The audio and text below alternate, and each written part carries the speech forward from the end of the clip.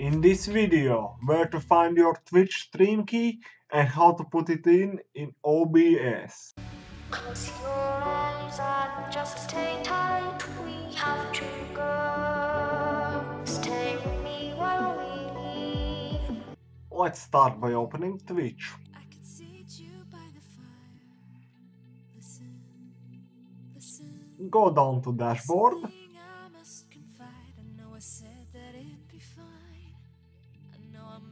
find stream key title,